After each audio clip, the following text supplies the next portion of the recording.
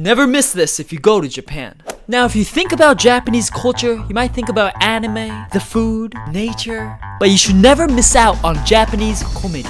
I know you might think Japanese comedy is a little sus, a little bit weird after seeing some of the memes on the internet, but I personally used to laugh my oshiri off as a kid in Japan, so here are 5 reasons you should never miss out on Japanese comedy if you go to Japan. Number 1. Never miss Japanese TV show comedy.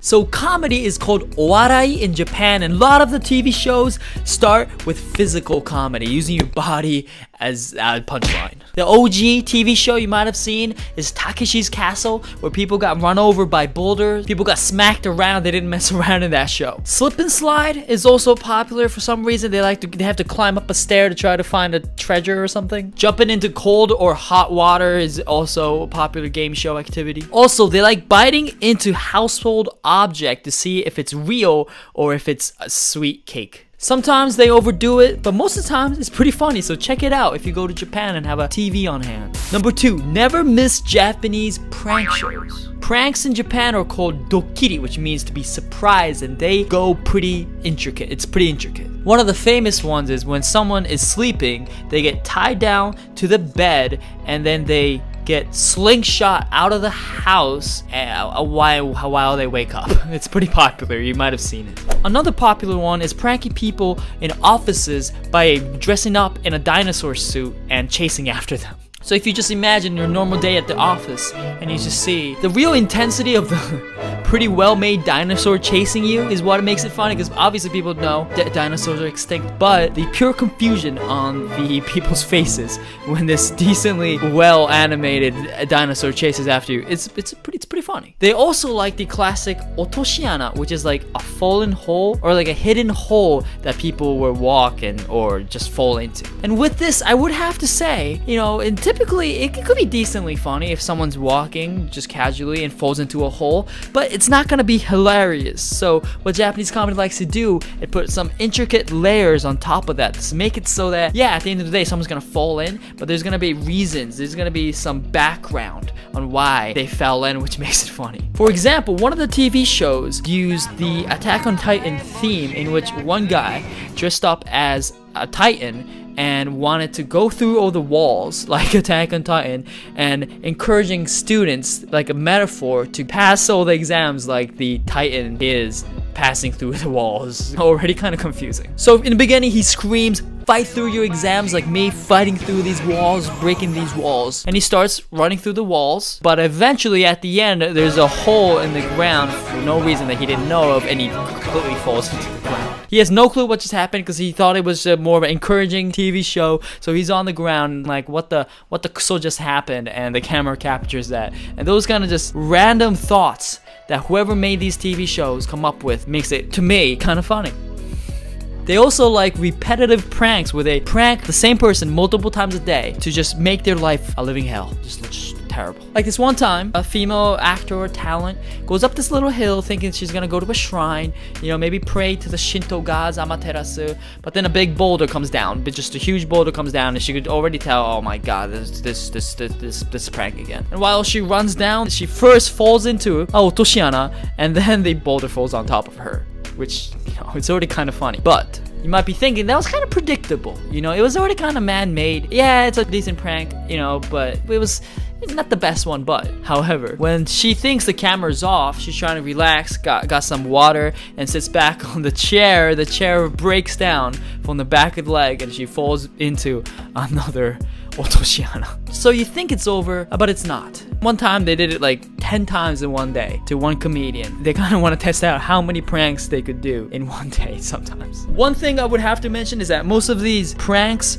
are to geinin, which is like uh, comedians or like actresses, basically like public figures. So they wouldn't necessarily, in general, do it to the general public. So if you go to Japan, you don't have to be worried if there's holes on the ground. You don't have to be worried if there's gonna be dinosaurs chasing you. Typically, because sometimes they like to prank gaijin or foreigners. Not to be mean to them, but just just the fact that Japanese culture is kind of weird already, and showing that side is kind of funny. So you know, be wary of that. I'm just, but in general, you'll be fine. Number three, never miss the classic rakugo, the origin of Japanese comedy. Rakugo literally translates into full language or basically punchline in Japanese, and it's been around for centuries. And the rakugoka, or the person who says the rakugo stories, will wear this nice kimono and will sit on this little cushion thing called zabuton in a big theater. It's typically held in a decently sized theater where everyone would sit and watch this one person tell a story. And it's typically a funny story. This one is definitely harder to understand if you can't understand Japanese or speak Japanese to a decently advanced level. This is because it's essentially just speaking. It's not much physical comedy. It's a little bit like acting because you would act like one. Rakugoka would act like he's one person to keep a dialogue on, but in general, it's just speaking, talking about a funny story. But going watching the actual theater of Rakugo and feeling the history behind it will definitely feel like a time-bending experience and realize that Japanese comedy isn't just about physical comedy or just pranks. It could also be an intricate verbal comedy and a little bit of thinking. Th thinking comes along with it. And another aspect is that a lot of these popular Rakugo stories has been passed down through multiple generations. And it could even go back to Edo period, which was a few hundred years ago. So you can literally be listening and laughing to the stories that people in Edo period laughed at. Maybe some samurais laughed at the same jokes that you just listened to during the Rakugo story. But more than just jokes and the funny stories, they also contain interesting plot lines and meaning or themes behind it, as well as the fact that you could kind of get a sense through the dialogue that the people during those Edo periods spoke and how they spoke to each other. And you could feel this, again, like a weird feeling of living through history. You could kind of get a sense of how the people during the samurai, the feudal system days talked and went, went along about their days, you know? I actually, as a kid, loved Rakugo and went to a lot of theaters and always, instead of listening to music in the car, I put a CD of Rakugo and just listened to it so many times and I memorized a couple popular stories. That's how much I liked Rakugo. But essentially, to get the full experience of Rakugo, understanding the language will be a necessity. So I have a Skillshare on Intro to Japanese Hiragana, which is the writing system, as well as the basic grammar Japanese if you want to check it out in the link in the description below. And you can learn it with me, Matsu Sama, and I'll answer any questions you have so that you can get a full experience. Also, follow me on TikTok and Instagram if you want to get to know me better. Number four, never miss Manzai or the two-man combo comedy. I think this originated from Rakugo, but Manzai is the more modern style of storytelling comedy. So it's basically a stand-up comedy, but it's with two people involved. They have this old-time looking microphone and they tell jokes and stories along with it, and it might be a fictional story or it might be the stories that they went through through their lives. They act it out a little bit more directly with Rakugo because they're standing and they kind of speak more directly to the audience, and it's a lot shorter. Typically, the style is one guy is the boke or the stupid guy or the one that acts stupidly to make a joke, Another guy is Tsukkomi, or the straight straight man who kind of smacks him in the face and says, hey, you're being silly. The main importance of Manzai is the punchline and it's the speed to it. When the boke makes a joke, that Tsukkomi has to has to hit that hit that joke saying how hey why that doesn't make any sense which makes it funny you know it clarifying something as silly makes things funny if you watch gintama you will know that shinpachi was known as a stand-up guy and then ginsan and Kagura was kind of like the boke because they were kind of making jokes all the time and Shinpachi had to smack them around. So imagine that in a more of stand-up comedy way and it might make a little bit more sense. Manzai is so popular in Japan that they have this championship called M1 Grand Prix and it's actually annually held and the best Manzai combo wins it all and people like to watch it. It's pretty funny and again, this is, you know, you gotta understand Japanese a little bit so definitely try your best and watch it and see if you understand. If you've already been studying Japanese, watch it and see if it's funny or you're just like, what the frick are they talking about? Number five, follow Owarai Geinin because they're really popular in Japan and it's interesting to see how they develop. So Owarai, like I said before, is like to laugh or comedy and geinin comes from ge which means to act or entertain and nin which means a person. And I would say geinin or these comedians are much more of a bigger deal and there's a lot more of than than like America. I know there's obviously popular stand-up comedians, but these geinin are on TV all the time and they do all the way from stand-up comedy to TV shows to game shows and prank shows. So they kind of become like a local, not a local, but the global celebrity in Japan. Some of the biggest names are like Shimura Ken, who unfortunately passed away couple years ago, but he was really in instrumental in pushing the Japanese comedy forward. Biito Takeshi, who made the Takeshi's Castle, you know, and he also made Battle Royale, which is a scary movie. He kind of makes scary movies too. So you, you, you see how much of the impact comedians could have. They can make their TV, funny TV shows, and they can make some brutal shows like Battle Royale out of nowhere. I don't know why he made it, but you know, comedians, if you can make someone laugh, maybe they have a little darker side of them. I don't know.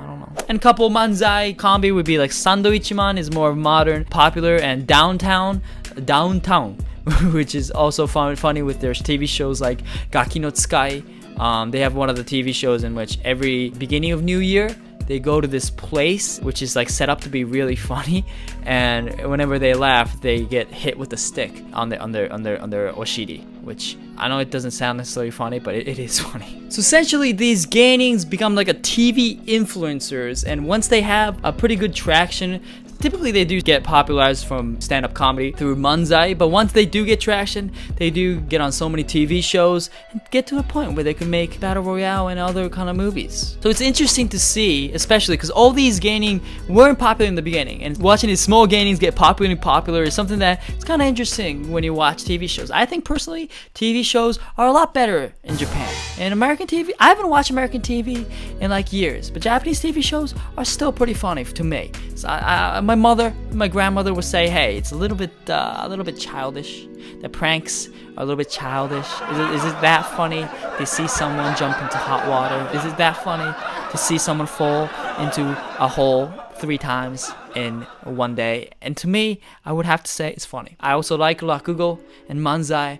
I think all of it is pretty funny. But all in all, you can see because the popularities from these comedians, how essentially a huge part comedy is in Japanese culture. So if you go to Japan, you don't want to miss it. You don't want to miss it. Most of the anime's comedy is also influenced by Japanese comedy, so you don't want to miss it. You want to understand it. But obviously learning Japanese language will help you understand some of it. But some of it, you could just kind of laugh. You don't have to understand. Subscribe to join the Nakama, leave a like to support the channel, and peace.